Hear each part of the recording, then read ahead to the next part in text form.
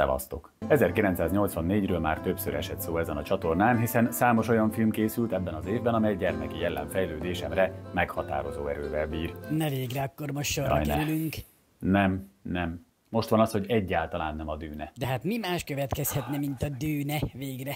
Hát egy másik klasszikus kultfilm legalább akkora, aminek a címe nem más, mint a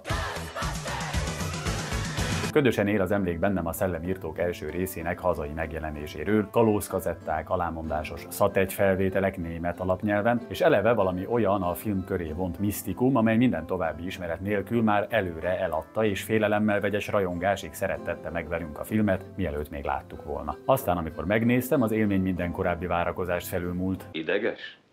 Igen. Első alkalom? Nem, voltam már ideges.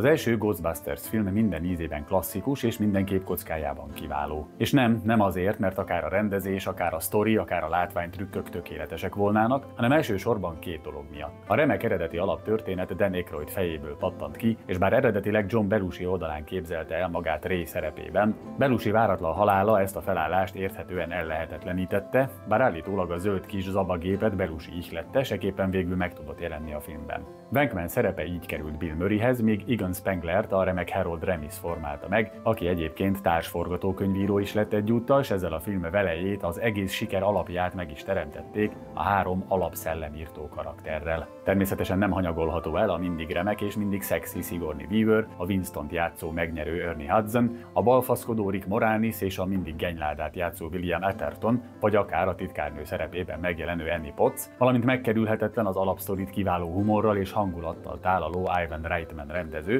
és természetesen a kultikussá vált filmzene, mégis a vásznat teljességgel maguk köré csavaró, elképesztő jelenléttel operáló és kiváló kémiával működő Murray, Aykroyd és Remis, és az ő fergetegesre megírt karaktereik azok, akik sziklaszilárd alapba öntötték a film sikerét. Én is érzem. A három karaktert szándékosan három teljesen eltérő személyiségé gyúrták a készítők. Ray a joviális, tetrekész technikus, Igen a zseni és az őrült határán billegő szikrázó szellemű értelmiségi, és a szkeptikus, szarkasztikus Venkman a csapat szócsöve. Bill Murrayre olyannyira illett a szerep, hogy a filmben a színész számos improvizálását megőrizték, ilyen például a forgatáson véletlenül ledőlő könyvespolcra adott spontán Murray reakció.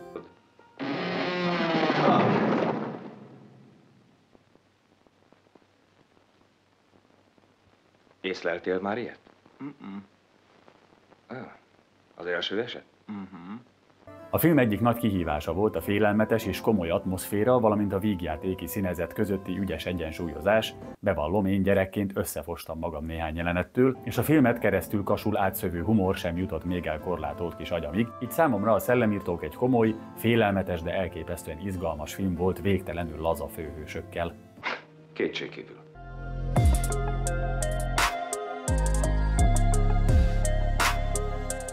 Történet három paranormális tevékenységekkel foglalkozó egyetemi hallgató terepmunkájával kezdődik egy könyvtárban, ahol kiszeltünk, de új naptárának bemutatójára készülnek. Az átélt izgalmak arra sarkalják a tudós srácokat, hogy vállalkozást indítsanak és megalakítsák a szellemírtó irodát.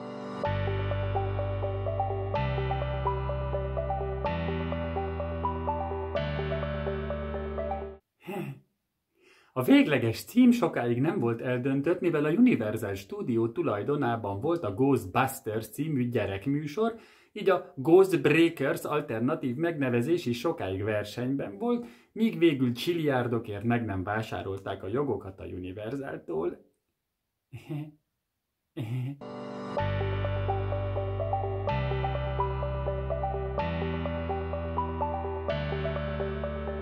Miután Ripley újabb veszedelmes tojásokkal találkozik, és a hűtőszekrényben hörögni kezd a kaukázusi kutya kefír, első kliensként ő jelentkezik Venkmenéknél az irodán, ahol Peter természetesen elsősorban a hölgy esztétikájának szóló személyes okokból tesz ígéretet a probléma megoldására. El is megy a lány lakására, eljátsza a fűreliszt és megküldi a nappalit részgálicccal, majd pofátlanul rányomul a csajra, aki elsőre még kikosarazza. A szellemírtó biznisz közben beindul, először egy hotelben kapnak megbízást a srácok, Na jó, ki vele melyik őtök finkta tele a liftet, miután beszálltunk?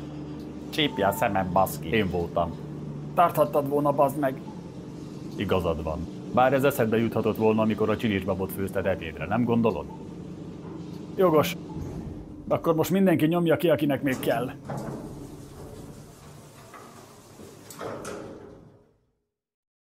Venkment összeejakulálja a pervers kis zöld geci, és kiderül, hogy nem szabad keresztezni a sugarakat, mert az így megszülető kis sugarakat mind ivartalanítani, csipelni kellene, ami nagyon költséges dolog. Csapdába ejtik a szellemet, egyre több megbízást kapnak, és kezdenek híresek lenni, és szépen lassan kiégni, ezért felveszik a csapatba Winston-t erősítésnek. Winston Zedmúr, az álláshirdetésre jött. Pompás, fel van véve. Ray Stantz, Pete Venkman. Éppen jókor, mert a később a Die Hardban is megjelenő Richard Thornberg már itt is egy kötekedő kis fasz volt, bár még környezetvédőként csinálta a cirkuszt. Közben az egyre növekvő pszichokinetikus energia hatására az épületen található kőkutyák vedleni kezdenek, és kibújik belőlük egy-egy medve cukorból készült ökörbornyú. Az egyik elkapja Dénát és megcsöcsörészi. Hmm. Okos kutya. A másik Louis-t tartóztatja le egy étterem ablakában, mivel az menekülés helyett csak elmebeteg módjára gügyök. Idióta. Venkman gyorsan meg is látogatja a megszállott Dénát, aki enyhe szexuális túlfűtöttséggel sürgetné, hogy a kulcsok őre tojózza már meg. Ez persze csak inkább irányelv, mint szabály, tudod? Hatolj belém! Hatolj belém! Hatolj belém! Hatolj belém! Hatolj! Peck visszatér, szétbarmolja a szellemcsapdát, és a városban kitör a pánik, a szellemírtókat meg lecsukják, de végül Powell tűnik fel szintén a Die Hard első részéből, hogy elvigye őket a polgármesterhez, akinek valóságos hittérítést adnak elő. Tüzes és kényköves eső hull az égből, a folyók és tengerek vize felforr. Kiderül, hogy a kulcsok Louisnál vannak, ezért Dénával együtt szellemkutyává változnak, Szellemkutya. És rászabadítják tehát a városra a démoni Gózert, aki hosszas csevegés helyett azonnal a tájra tér. Isten vagy. Nem! Akkor hajj meg!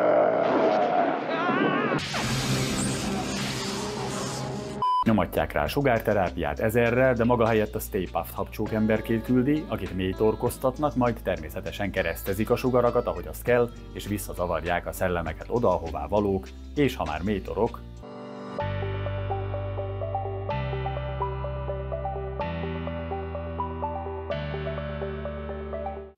épület előtt topzódó járókelők és nézők között feltűnik a híres és hírhet felnőtt filmes Ron Jeremy, aki 2011-ben egy pornó verziót is leforgatott a Szellemírtók sztoriból. Ezt a filmet természetesen nem mutathatom meg ugye itt a csatornán, de én azért a biztonság kedvéért belenézek. Csak, csak pár jelenetet, hogy...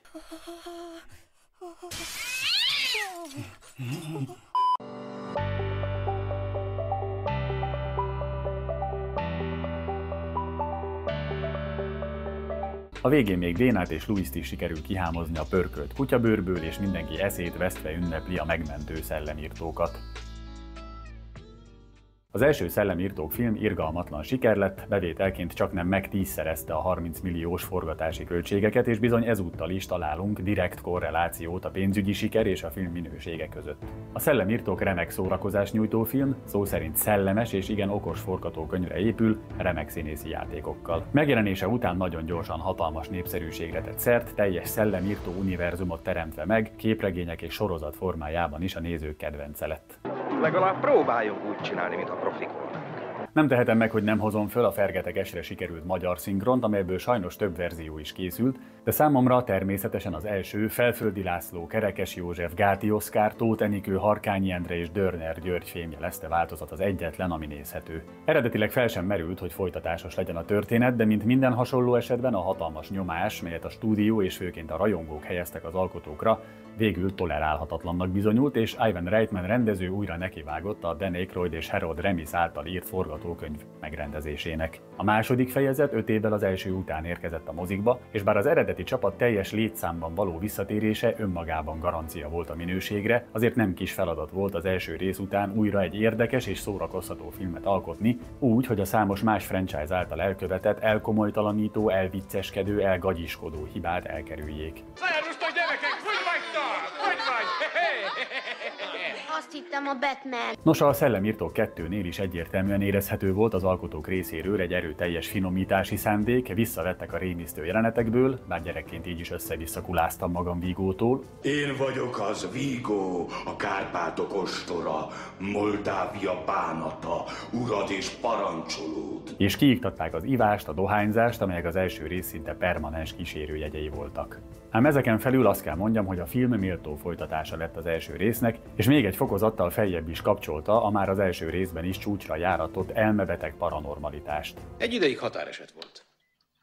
Most már túl van minden határon. Meglepő módon a teljesen újra gondolt magyar szinkron is kiváló lett, főleg mivel gyakorlatilag egymás között cserélték fel a színészeket. Az eredetileg Igen hangját kölcsönző Gáti Oscar Winston szólaltatja meg remekül, míg Igen Dörner György hangján szellemeskedik, aki az első részben éppen Winston szinkronizálta. A lazaság és a humor megmaradt, a szellemírtó karizmája továbbra is felszántja a vásznat és a képernyőt, a film ritmusa és hangulata pedig méltó az előthöz.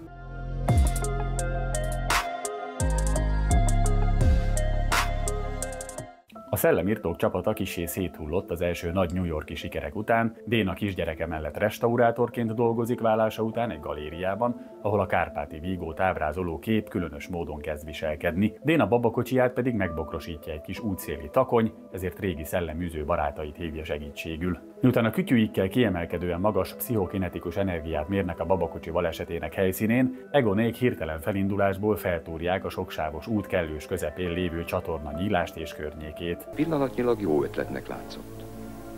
Vigó szemezni kezd a kisé aberráltnak tűnő galéria vezető Jánossal, ettől a jelenettől gyerekként éjszakákra álmatlanságba sodródtam. Majd megszállja a fickót, hogy egy gyermek testet szerezzen újjászületéséhez. Közben Ray és a többiek rátalálnak egy föld alatti nyálka folyamra, és pánikszerűen lerúgják a város áramellátását. Már is a bíróságon találják magukat, ahol a korábban kutyává változott adószakértő most kutyaütő ügyvédként próbálja védeni a csapatot, de többet árt, mint használ. De nem haragszom rájuk, mert egyszer kutyává változtam, és ők segítettek rajtam.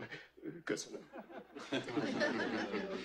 A baromarcú bíró ingerültsége előugraszt a nyálkából két börtönviselt szellemet, így Venkmenéket felmentik a vádak alól, és újra beindul a szellemírtó biznisz az elszaporodó paranormális jelenségek miatt. A kis zöld geci is visszatér, és kiderül, hogy a föld alatt talált nyálka reagál az emberi érzelmekre. Hangulatnyálka.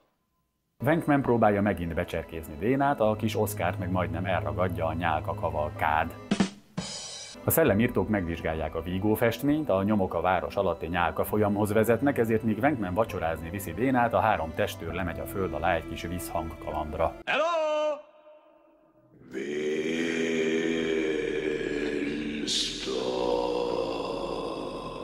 Na, én megyek. Winston elgázolja egy majd száz éve késő más szerelvény, majd megmártóznak a Schleim és miután majdnem egymásnak esnek a smegmás ruhán összegyűlt negatív pszichokinetikus energiák miatt, cirkuszt csinálnak az étteremben, ezért újra lekapcsolják őket, és hosszas magyarázkodásba kezdenek a polgármesternél, és a kedvenc mondatom is elhangzik. Negatív emóciók materializálódnak viszkóz pszichoreagens plazma formájában, amely explozív paranormális potenciállal rendelkezik.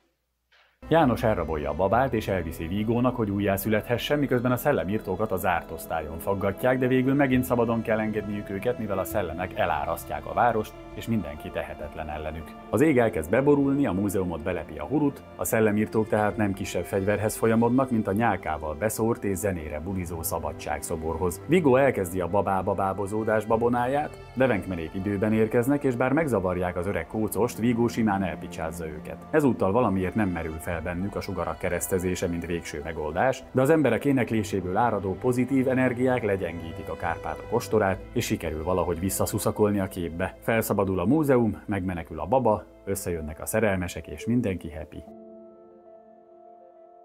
A Szellemírtók 2 az első résznél kicsit gyengébb, mégis méltó folytatás, amelynek helye lenne akár a második részekről szóló videón pozitív példái között is. A film fogadtatása továbbra is zömében pozitív volt, de már mérsékeltebb sikert aratott, a kicsit magasabb költségvetésre kisé alacsonyabb bevételt hozott, és így végérvényesen lezárta a franchise-t. Mi vagyunk a legjobb, a legcsodálatosabb, a legnagyobb szellemírtók.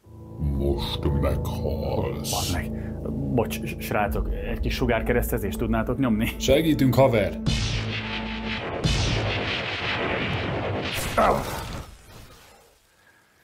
Köszi. Véged van, Vigo vagyok.